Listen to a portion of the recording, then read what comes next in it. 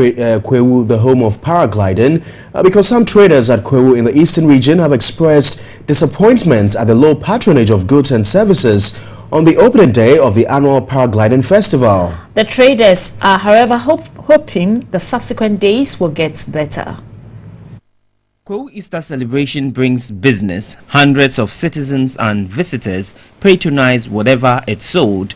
The situation is changing now day one of the paragliding festival did not attract the normal high patronage of goods and services.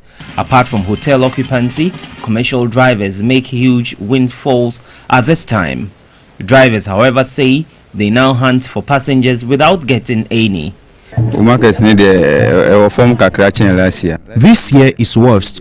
I have to come here and look for passengers, unlike last year where passengers were all over the place. The pressure from now ubisa As at 4 p.m., this trader said she had sold nothing compared to last year.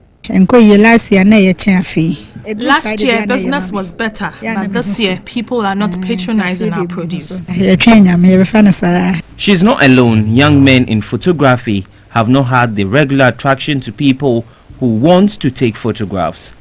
As at 4 p.m., Joshua Lassie had made only 20 CDs. since we come here we need this tour because of the phone this technology you know you know shedder then they take pictures like this but first time then they take these businesses have two more days to determine if indeed this year's festival will favor businesses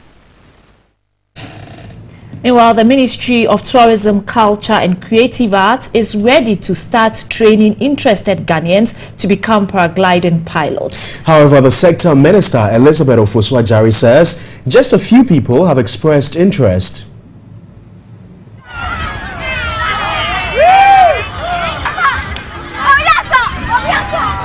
The Ministry of Tourism, Culture and Creative Art has been under pressure to train Ghanaian pilots for the annual Easter Paragliding Festival.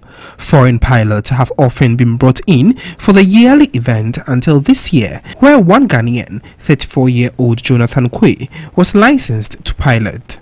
Even for Jonathan, he had to make the effort on his own. However, the ministry says all measures have been put in place to support interested people.